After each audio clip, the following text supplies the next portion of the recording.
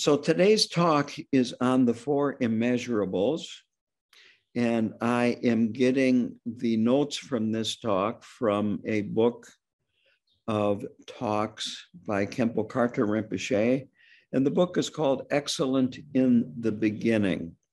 Now, the four immeasurables come from the Mahayana tradition.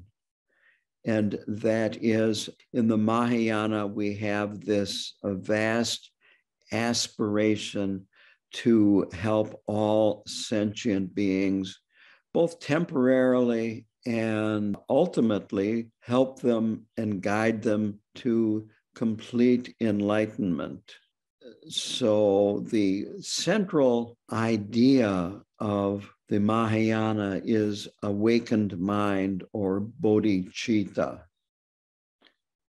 And these four immeasurables help us train our mind to develop the right attitude and the right motivation for the Mahayana path. So, the right attitude is to understand that you and all sentient beings have Buddha nature, that this is our potential, uh, this is our endowment so, this is the proper attitude. But along with that is this uh, attitude of wanting to share this understanding with other beings. And this wanting to share, it's important to distinguish between uh, wanting to share and wanting to. I'm trying to think of a nice way to put this wanting to overwhelm people with how much you know and how little they know. And if they would just follow you, then and do what you tell them, everything would be fine. That uh, we are not going in that direction. It's more this wish to be gentle, caring, kind, and share what we know. If people are willing and open to receiving it. And the proper motivation is to have genuine interest in benefiting others. And so there's a certain humility that is involved with both of these. That an arrogant approach would be that I know exactly what is best for you, and therefore you've got to do what I tell you because I know what's best as opposed to more of having confidence in our knowledge, confidence in our experience, confidence in ourselves, but also realize that we have to relate to other people from where they are and what they can receive. And I have found that when you are communicating the Dharma with other people, less is usually more. To tell the person a little bit, and if they want to know more, they will ask. And if they're not asking, then maybe back off a little bit. It's very easy if we become too aggressive to actually have people turn away and think this is not at all anything that I'm interested in. So these four immeasurables are loving kindness, compassion, equanimity for all beings, and then, of course, joy. So I'll start with loving kindness. A mind that is endowed with loving kindness, and actually all our minds are endowed with this, we just may not have been able to experience it directly. But all of us have minds that are endowed with loving kindness, and this means being sensitive to the well being of others. In Rinpoche's words, quote, loving kindness is the ability to have a sense of warmth and caring for the well being of ourselves and others. That isn't very complicated, it's pretty straightforward. So, we want to be able to see ourselves as clearly as possible, see what our faults are, what our defects are, be aware of when we are interacting with another person, what our motivation actually is. Why are we interested in others? Are we interested in them because we want them to know more about us and so that I can make myself look more important in their eyes? Or are we genuinely interested in who they are, how they feel, how they are doing? And we all have friends, relatives, perhaps we have partners, children, grandchildren, and so forth. And so it's always important to examine what kinds of things we're taking into these interactions that we have with people. The Dalai Lama has a quote that I think is very important to keep in mind. Quote, even a dog is kind to people who feed it. And as human beings, we are capable of much more than that that we want to avoid separating people into my people, my kind of people, and not my kind of people or others. And it's important to be aware as much as possible when aversion arises, when we are with other people, or even thinking about other people, or even when we get irritated or if we start feeling envious if they have a nicer car than us, or if their yard is better landscaped than ours. And with those that are close to us, it's easy to have expectations. And if they don't live up to our expectations, then our view of them goes down and our irritation goes up. And even the uh, people close to us have the potential of, in our minds, becoming other. There certainly are plenty of comedy movies out there about Christmases, family Christmases, or other kinds of family get togethers, weddings. Well, let's just say, since they're comedies, they don't always end with the warm fuzzies or if they do, they go through a lot of stuff before they get to that point. Another quote from Rinpoche if we are truly interested in their well being, why would we change our minds about them? Why would we get angry at them or do things to hurt them? It is because our loving kindness is based on selfishness. So there's really no benefit from this kind of loving kindness, being kind to people because of your own selfishness, your own expectations, thinking that if you are kind to them, they will reciprocate. So, in a way, the person that you are trying to benefit doesn't really benefit if you have your motivation tainted with self interest. So, the remedy for this approach is to look inward, to contemplate, to be constantly aware of what's going on in our minds. And it's also important to realize that everybody is pursuing happiness that their ultimate goal is to be happy and that they may not know really what the essential component of happiness is. And in trying to attain happiness, they just create more karma that will create and lead to more unhappiness in the future.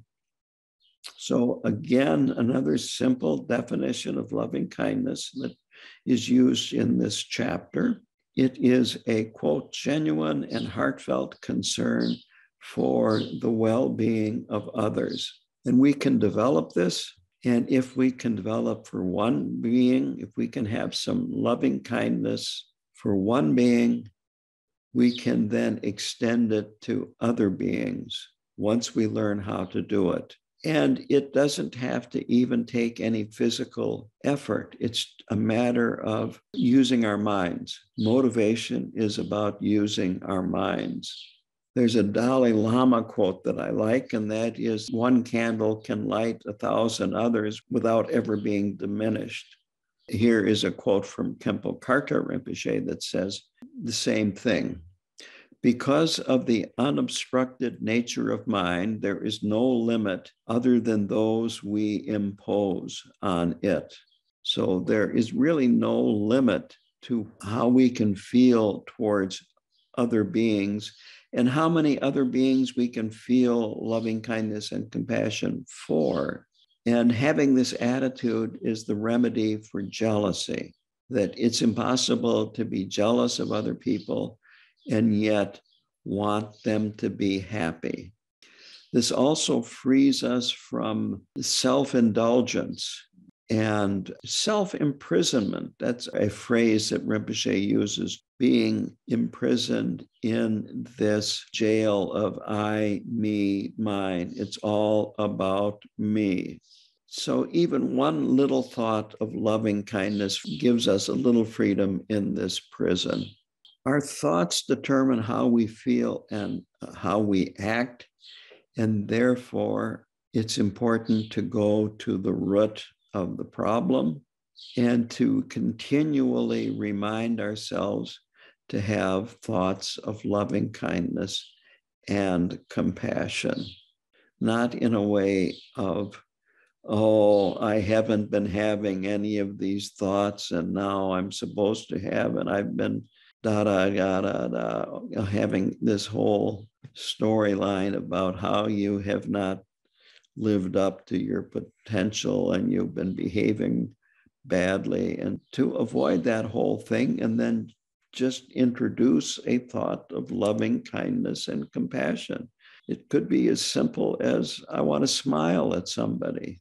I would like to make their day go a little bit better than it has been going for them. So, this gives us power power over our mind, power over our feelings, and power over our actions. And it's important to remember that our jealousy, our anger, our irritability, our intolerance, and so forth, all of these are not part of our inherent nature. They come and they go, and we can let go of them, that we can feel more spacious if we're angry, there's really no space. It's just we're feeling angry, we're unhappy, we're having a bad day. But if we can let go of that, suddenly things open up and we start seeing that there's a lot of things going on that we can be joyful about, that we can feel positive about. It could be as simple as seeing, walking on the sidewalk and seeing a dandelion coming up in a crack in the pavement. A lot of people think dandelions are weeds. Well, they still have bright yellow flowers. Nothing wrong with a bright yellow flower in a patch of concrete. And, and Rinpoche says that having this concern for others is great benefit to us. And we need to be careful to do it repeatedly and not just do it intellectually. He says, just do it. Do it without thinking about it, without thinking about the benefits that you receive by doing it. Just do it. Basically, train in love repeatedly over and over and over again. So, the first immeasurable, the translation into English is May all sentient beings have happiness and the causes of happiness. So this refers to both the accumulation of the causes of happiness, accumulating the merit that will cause happiness to arise in the future, as well as may beings be happy right now. The next of the four immeasurables is compassion. And this is the quote from Rinpoche in the book is compassion means having a genuine aspiration for all beings to be free from suffering. And I'm stressing aspiration here. The actual words of this second of the four immeasurables is May all sentient beings be free from suffering and the causes of suffering.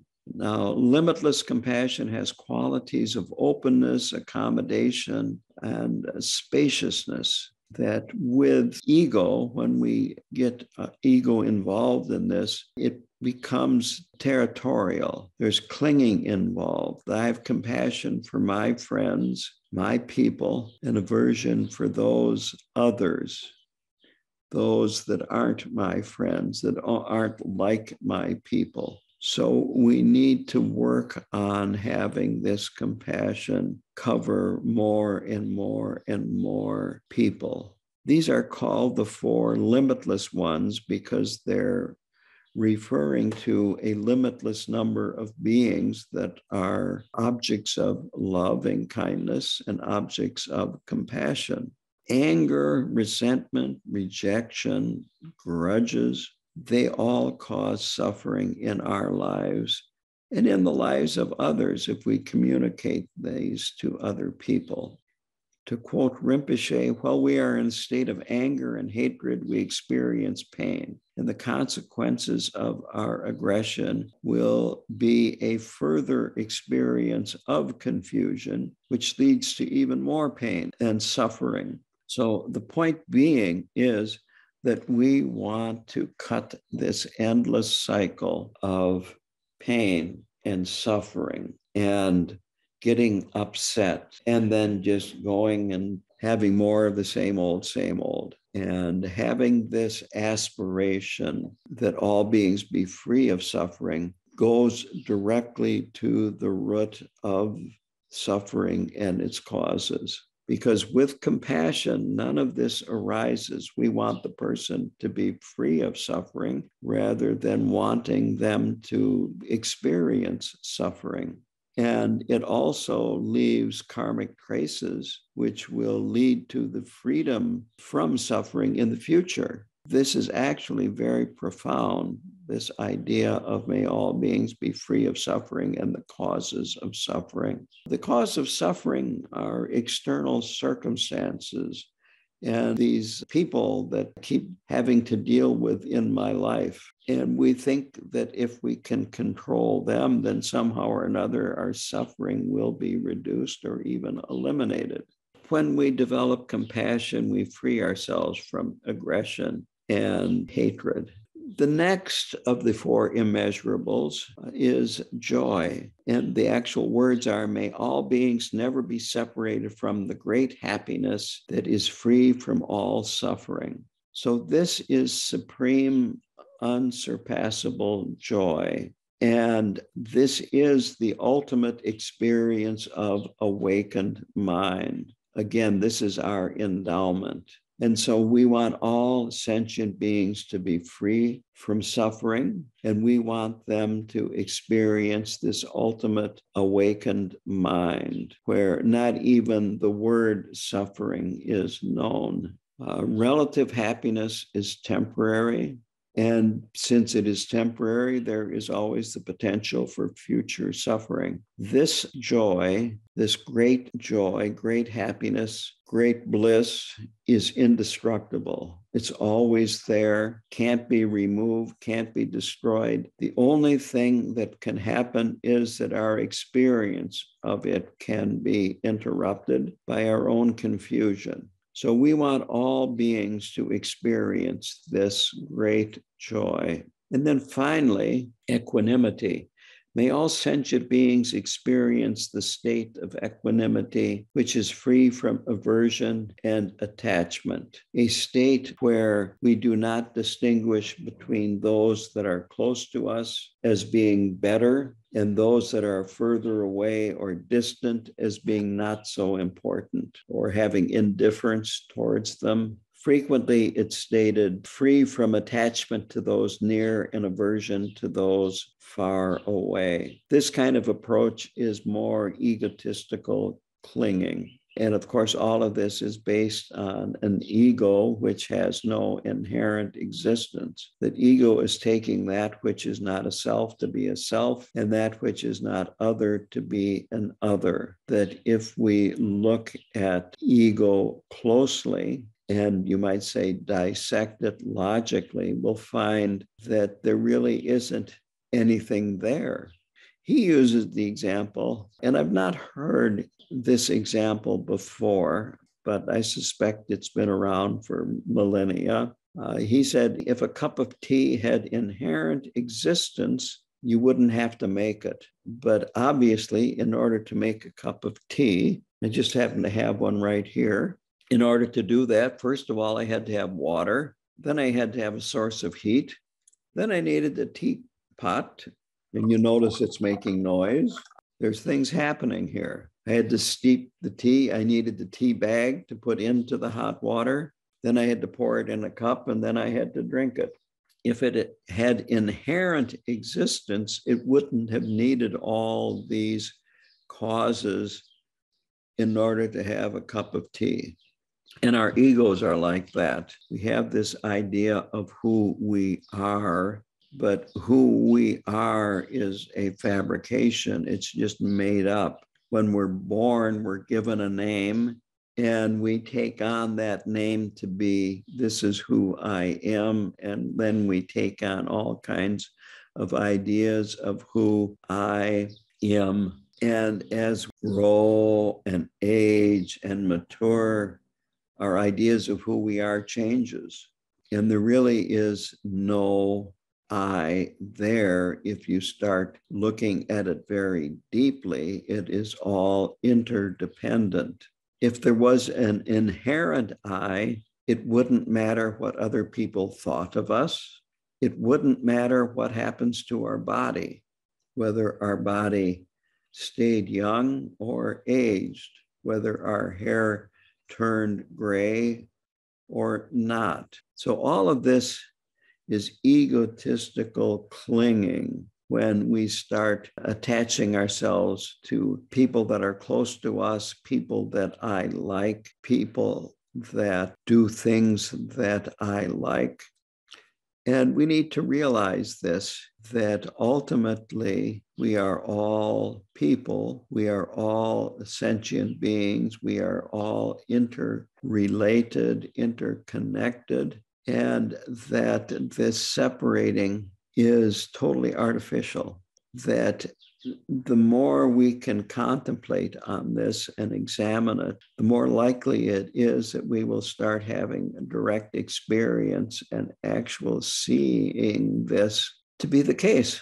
Uh, to quote Rinpoche again, such equanimity is the fruition of immeasurable loving kindness, immeasurable compassion, and immeasurable joy.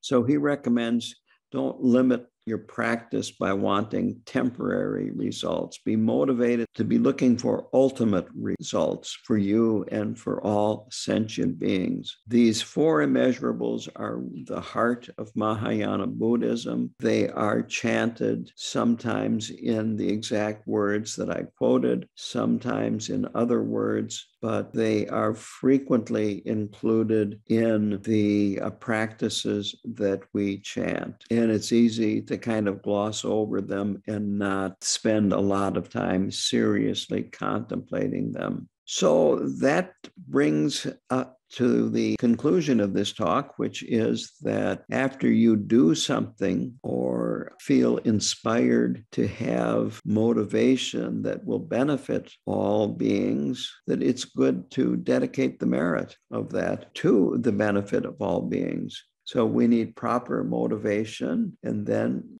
from that, we want to have proper action of body, speech, and mind, and then proper dedication. And all of this, little by little, leads to actually attaining the four immeasurables.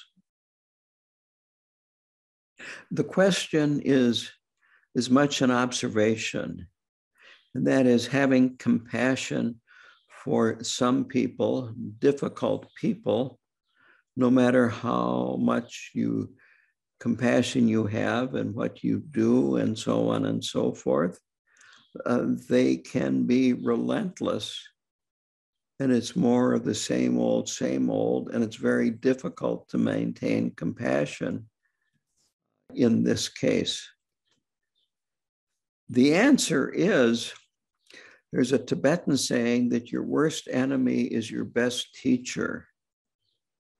This doesn't mean this is easy, but your worst enemy is the one that can really teach you compassion and patience. It doesn't mean that we are at the level where we can view our worst enemy as our best teacher. We want to kind of be able to uh, at least have the aspiration to go in that direction. But there's no question about it that a difficult person, maybe a better way to put it, an extremely difficult person, perhaps even an aggressive, harmful person, can be extremely difficult to have compassion for. And we don't have to make ourselves into a doormat. We don't have to agree with their behavior. There are ways, it's called skillful means. There are ways of, you might say, joining this motivation for compassion with wisdom and with skillful actions of body, speech, and mind, which can help. From my own experience, one thing is to let go. So you've had a painful experience with this person, let go of it. It doesn't mean forgetting, you know, realize, well, this person has a tendency to say things or do things that can be quite painful physically or mentally or both. With that in mind, then don't hold on to anger about it. Maybe exercise caution, try something new at a very simple level. At the Hinayana level, you just avoid the person. Serious, you look at that person as having bringing up kleshas that are stronger than you are. And so don't bring up the kleshas. But we want to be going in the direction of gradually being able to accommodate very, very difficult people and learn from them. To kind of go back, you start with the easy, difficult people first.